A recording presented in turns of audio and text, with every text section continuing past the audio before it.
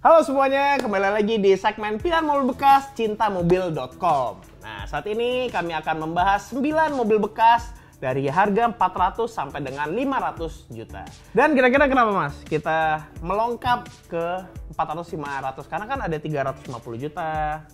Karena sebenarnya di budget 400 sampai 500 juta rupiah, harga ini sebenarnya secara psikologis membuat orang lebih galau atau membuat orang lebih bingung saat punya uang 400 sampai 500 juta rupiah. Karena dengan uang 400 sampai 500 juta rupiah, Anda bisa dapat mobil baru juga yang sebenarnya lumayan bagus. Tapi kalau memilih mobil bekas, kelasnya bisa jauh di atas yang Fik dan punya mobil yang mungkin lebih berkualitas dengan tahun yang terlalu tua.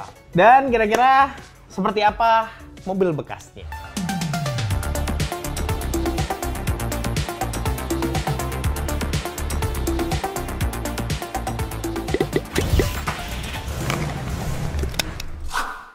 Oke, untuk mobil pertama yang ada di harga 400 sampai 500 juta ada BMW 5 Series 520 yang F10 tahun 2014 nih harga bekasnya 435 juta. Ini mobil sudah umurnya udah enam tahun tapi harganya sampai setengah harganya malah sekarang. Bahkan di bawah setengah harganya ya. Benar, Fik. Dan ini menjadi pilihan yang menarik karena kalau 400 juta rupiah, 435 juta rupiah harus nambah sedikit lagi untuk dapat mungkin seperti Honda Civic hatchback atau Iya. mungkin Mazda 3 sedan atau Mazda 3 hatchback. Tapi kalau Anda pilih mobil bekas dapatnya ternyata sedan mid luxury sedan. Ini mobilnya luar biasa ya. Mobilnya besar, nyaman. Mesinnya kalau nggak salah ini udah turbo nih ya yang ini ya. Ya. Dan untuk listing kami saat ini yang F10 2014 ini dia sudah berjalan 39.000 km. Bisa dibilang 6 tahun mobilnya baru 39.000 km. Dan satu lagi ini pajaknya juga masih panjang nih ya. Sampai bulan 10. Sampai bulan 10. Karena mengingat mobil ini pajaknya itu berada di angka 14-an. Dan menurut penjualnya, mobil yang dijual saat ini yang ada di listing kami ini tipe facelift terakhir sebelum berpindah generasi ke G30. Jadi sebenarnya ini ya nggak terlalu tua banget mobilnya. Dan masih satu generasi saja di bawah BMW seri 5 terbaru saat ini. Ya tetap punya mobil ini pasti dibilang orang kaya. Pilihan mobil kedua ada Jaguar XFR 3000cc 2012 yang dijual di DKI Jakarta dengan harga 495 juta rupiah. Mobil Jaguar XF ini sebenarnya populasinya sangat langka. Ya, jarang orang punya ya. Ya, dia tipe medium sedan di Jaguar setelah Jaguar XE dan di bawahnya Jaguar XJ. Jadi lawannya seri 5 yang tadi, makanya harganya juga nggak terlalu jauh.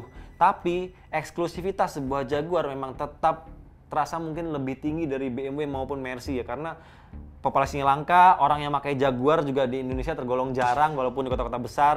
Tapi salah satu halangannya ya tempat servisnya agak Iya. susah. Jarang sih. Di Jakarta ya jarang. Ditambah lagi mobil ini tahun 2012. Ini karena dia populasinya sangat jarang di Indonesia. Jadi orang kiranya ini mobil baru udah. Ini kayak mobil tahun 2017. Bener, Kayak Fik. gitu ya. Dan tampilannya memang nggak terlalu tergolong terlalu tua ya, jadi masih enak dilihat, masih eksklusif, kelihatannya masih mobil yang sangat mahal dan memang harganya juga nggak bisa dibilang murah sih 495 juta rupiah. Tapi harus diingat, mobil 495 juta rupiah dengan merek Jaguar, eksklusivitasnya memang tadi seperti yang kita bilang luar biasa menarik sih untuk dimiliki saat ini. Kalau dibandingkan dengan mobil baru di kelas mungkin jauh di bawahnya Iya, dengan jauh. harga itu. Oke, pilihan selanjutnya ada di segmen SUV.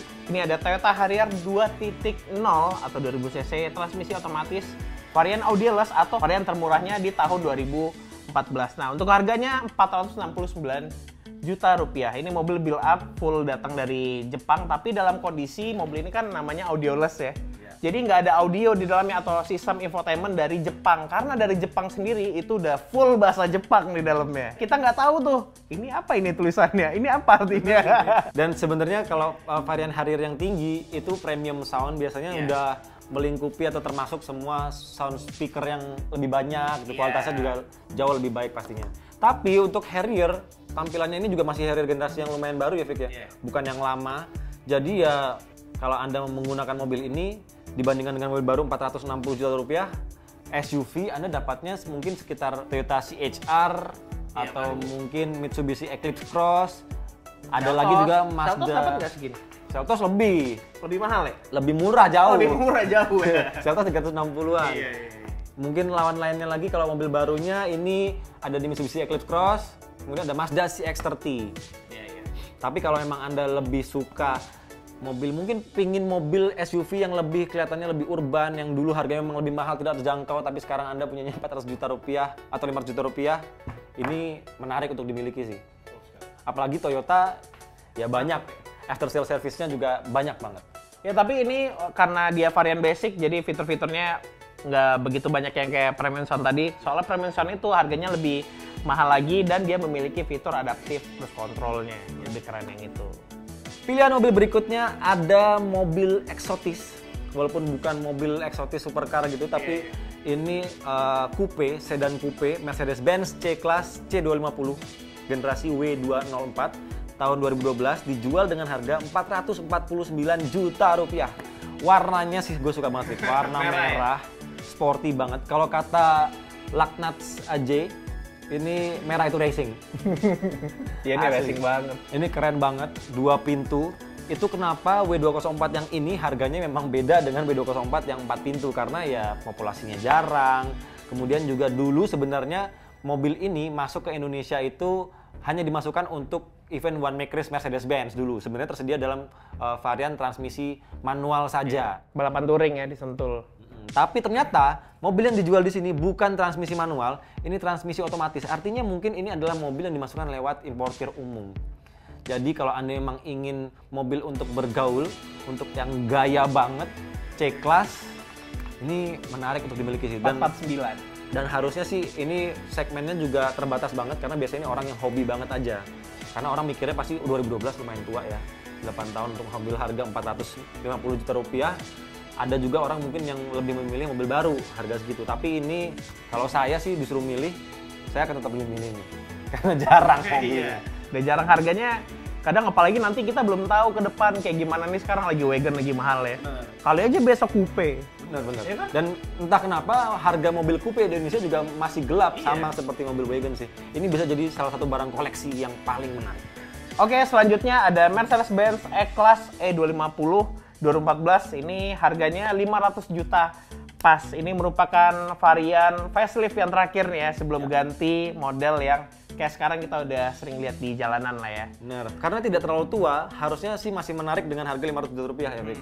Untuk Anda yang mungkin pingin beli E-Class, tapi E-Class kan sekarang harganya lebih dari satu miliar. Betul. Jadi- paling murah aja 900 juta ya kalau on the road jadi 1 miliar. Satu miliar, makanya. Kalau ini kan udah semua surat sudah siap, tinggal balik nama, harga 500 juta, ya masih worth to buy lah, worth banget to buy. Dan untuk di listing kami, ini mobil yang dijual ini yang E-Class E250 ini dan kilometernya masih 19.000. Jadi artinya mobil ini cukup jarang jalan sih sebenarnya ya. 19.000 baru du- dua kali servis ya. Mungkin secara psikologis memang orang-orang yang punya mobil seperti ini bukan mobil pertama sih, Vic. Jadi ya mungkin sehari-hari nggak pakai mobil ini, jadi makanya jarang dipakai. yang harus diingat pasti pajaknya. Pajaknya sudah pasti lebih dari 10 juta, mungkin men- mencapai 15 juta ke atas karena barunya dulu ya tetap harganya hampir 1 miliar sih mobil ini. Nah, untuk Anda yang ingin tampil nyentrik, Anda suka Mini Cooper, ada Mini Cooper 3 doors, 3 silinder 1500 cc tahun 2015, masih lumayan muda jadi menarik dimiliki juga. Harganya 460 juta rupiah. Tapi entah kenapa sebenarnya gue agak bingung dengan harga Mini Cooper di Indonesia kenapa masih tinggi padahal sebenarnya kalau dibandingkan sama mungkin BMW seri 3 F30 Harganya lebih bagus yang ini ya. harganya tetap lebih mahal Mini Cooper mungkin karena Mini Cooper ini termasuk salah satu mobil koleksi dan mobil hobi kali ya jadi Karena mobilnya berkarakter banget lah. benar-benar sih benar-benar Ini banyak rata-rata sih orang suka ya, nggak tahu kenapa. Rata-rata orang ya Mini Cooper keren mereka. Enggak, ini mungkin untuk orang-orang yang seleranya mungkin agak nyentrik ya dan ingin tampil beda ya memang Mini Cooper menjadi pilihan yang sangat menarik dan mobilnya juga jarang sih Vic, kalau dibandingkan sama F30 seri 3 pasti jarang yang pasti ketika beli mobil Mini Cooper ini ini adalah varian, varian Mini Cooper dengan mesin 3 silinder 1500 cc jadi anda punya bahan bakar yang lebih irit dari varian Mini Cooper S tapi performanya juga sudah lumayan baik nggak terlalu buruk Tapi ini mesinnya agak getar nih. iya benar agak getar. Dan jujur aja saya lebih suka desain generasi sebelum yang ini yang di Italian Job itu. ya ya itu R56 Itu keren banget ya. Tapi segetar-getarnya mesin 3 silinder dari BMW ya jangan dibandingkan dengan Toyota Agya atau Datsun Go Iya. yang harganya jauh ya. Tetap lebih manusiawi dan lebih beradab inilah. Iya, iya. Beda lah. Dan pilihan selanjutnya ada di segmen SUV. Tadi selain Harrier, ini ada Jeep Grand Cherokee Limited tahun 2011. Nah, harganya itu dalam kondisi bekas, ini 450 juta. Untuk mesin yang digunakan, ini 3600 cc. Grand Cherokee 4x4, ini ma- pajaknya mahal ini. Pasti. ya barunya dulu mungkin sekitar ya lebih dari 1 M mungkin ya. Dan salah satu keuntungan kalau beli mobil Jeep Grand Cherokee itu memang Anda punya ketangguhan luar biasa dari sebuah mobil 4x4. Tapi kekurangannya ya jangan ditanya konsumsi bahan bakarnya pasti boros. Karena entah kenapa mesin mobil Amerika itu jarang yang bisa irit bahan ya? bakar. Iya. Tapi tenaganya pasti besar. Kecuali listrik. Iya kecuali listrik Amerika mah irit banget. kecuali Tesla ya. Iya kecuali Tesla. Nah ini mobilnya kilometer rendah juga 21 21 ribu kilometer dari tahun 2011. Lagi-lagi mobilnya jarang dipakai nih pas. Kalau diperhatikan dari tadi memang mobil-mobil yang kita lihat sekarang di harga 400 sampai 500 juta tuh memang mobil-mobil jarang yang dipakai. Iya. Ya, jadi kayaknya menguntungkan gitu kalau beli bekas mobil jarang yang di- yang jarang dipakai kilometer rendah tuh lebih lebih apa ya masih merasakan rasa mobil barunya lah. Iya iya benar benar. Kemudian selanjutnya ada juga mobil yang cocok untuk anda ah, wanita muda yang mungkin berkarir cemerlang. Eh, iya wanita muda yang mungkin punya orang tua yang sangat kaya. Eh, ada Mercedes-Benz GLA 200 2016 masih muda 2016 4 tahun saja dan biasanya ini masih tercover oleh apa ya eh, service package dari Mercedes-Benz yang bisa diperpanjang biasanya diperpanjang tuh pas sampai 5 tahun. ESP ya. Iya, ESP, Integrated Service Package dari Mercedes-Benz. Ini dijual dengan harga 499 juta rupiah. Bersaingnya kalau kelas ini harusnya sama BMW X1, kemudian ada Audi Q3. Tapi GLA-nya ini bentuknya memang lebih kalau dibandingin BMW X1 lebih nyentrik, lebih nggak biasa lah dari Audi Q3 apalagi Audi Q3 kan lebih konservatif. Iya ya lebih mobil mobil orang biasa gitu Iya. kayaknya. Ini Kalau lebih Mercedes-Benz GLA tuh kayaknya kesannya untuk anak-anak muda yang ingin tampil beda gitu kan. Iya ya. iya iya betul. Anak-anak muda yang mungkin punya karir cemerlang walaupun tanpa harus kerja gitu. Ya kan ada yang gitu banyak kan. Iya. Iya, iya. Jadi ini mantep mobilnya asli. Iya. Banyak lah yang kayak gitu-gitu yang pakai mobil ini. Ya, dan dan yang pasti dengan umur mobil yang cenderung muda, masalahnya pasti jarang. Jadi kalau membeli mobil ini apalagi kalau materialnya rendah, bisa dipastikan eh, jarang ada masalah. Jadi tinggal pakai lah ibaratnya. Oke. Nah, tadi dibilang buat anak muda yang karirnya cemerlang, ini lebih cemerlang lagi. Sama-sama compact SUV ya. Ini sama-sama compact SUV tapi bisa dibilang kelasnya itu di atasnya lah ya. Beda lah ya kelasnya sama yang ini nih. Ini all wheel drive, ya kan? All wheel drive. Ada Range Rover Evoque tahun 2012. Nah, harganya 495 juta. Gue bingung kenapa mobil ini ini ya harganya ya. Jatuh ya? Iya. Dulu barunya tuh sekitar 1,3 M seingat saya. Mahal 1,3, ini. 1,4 lah. Iya. Eh, makan lebih malah biasanya. 1,7 apa ya? Pokoknya antara di atas 1 miliar lah.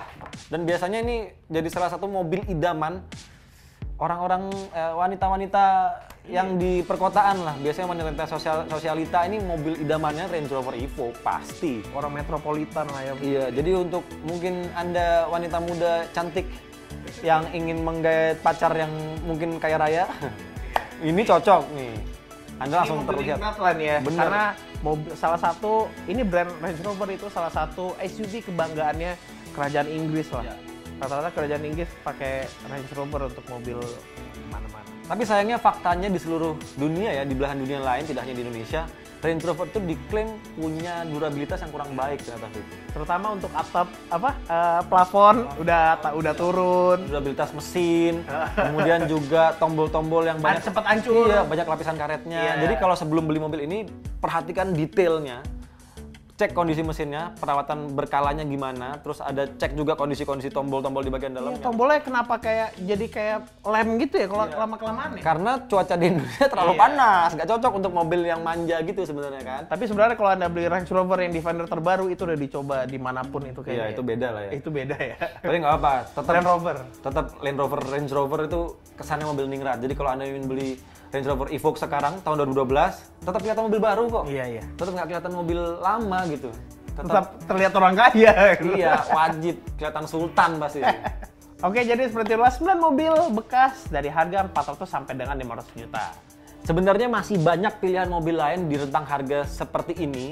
Banyak juga mungkin mobil sport seperti GT86 dalam kondisi bekas, Mazda MX-5 Miata, tapi tidak ada di listing kami saat ini. Jadi untuk Anda yang ingin memasang iklan, menjual mobil Anda dengan cepat, mencari agar mobil Anda dilihat banyak orang, silakan pasang iklan Anda di cintamobil.com gratis selamanya. Gratis, tis. Dan Anda juga bisa tetap mencari mobil bekas maupun mobil baru di cintamobil.com. Jangan lupa subscribe channel YouTube Cinta Mobil TV, nyalakan notifikasi, dan download aplikasi kami yang sudah tersedia di Google Play Store maupun App Store. Terima kasih sudah menyaksikan, sampai jumpa di video berikutnya.